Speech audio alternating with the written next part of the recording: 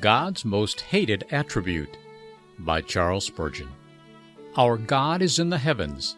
He does whatever He pleases. Psalm 115, verse 3. The Lord does whatever pleases Him throughout all heaven and earth, and on the seas and in their depths. Psalm 135, verse 6. All the peoples of the earth are regarded as nothing. He does as He pleases with the powers of heaven and the peoples of the earth. Daniel 4, verse 35.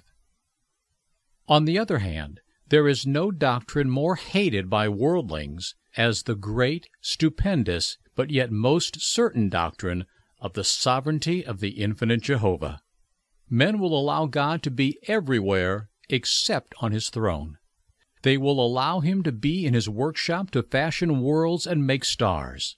They will allow him to be in his almonry to dispense his alms and bestow his bounties.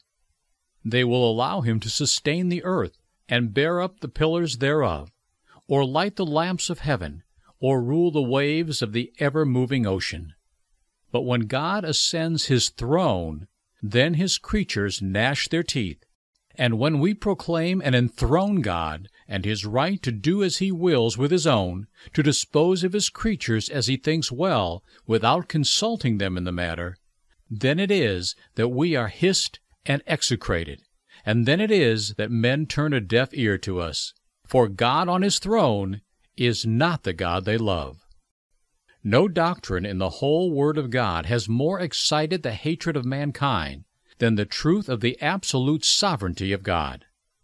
Opposition to divine sovereignty is essentially atheism, and were it not for sovereign grace, none of us would ever have followed the path to heaven.